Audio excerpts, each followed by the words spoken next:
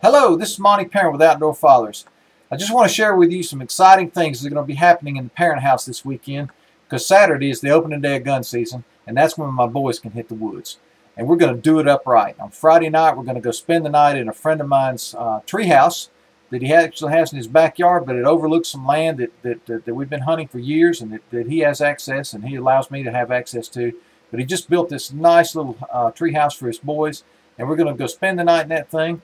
Uh, it's going to be a, a, warm night. We're going to take our sleeping bags and our weapons.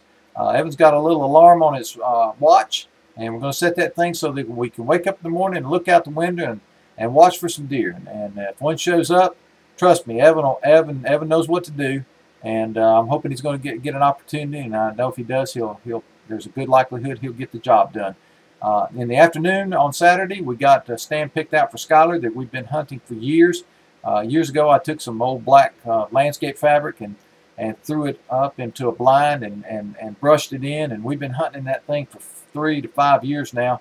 We've taken anywhere from uh, probably close to a dozen deer out of there, my boys have. Uh, and we've, you know, it's really been a great spot, and we're, we're, we're going to hit that in the afternoon. The wind's going to be right for that, so Skylar's the shooter in the afternoon, and he's excited about that, and, and uh, I, hope you guys are making some plans. I'm going to come back to you uh, Monday with an update and let you know, or over the weekend, I'll, I'll, I'll give you an update of, as to what happened, good or bad. Uh, I'm sure it's going to be as far as as far as deer success. You know, uh, that's just a bonus. It's always good because we really enjoy spending time in the woods together, and I hope you're making some plans to do the same. This is Monty Perron with Outdoor Fathers. Get outdoors.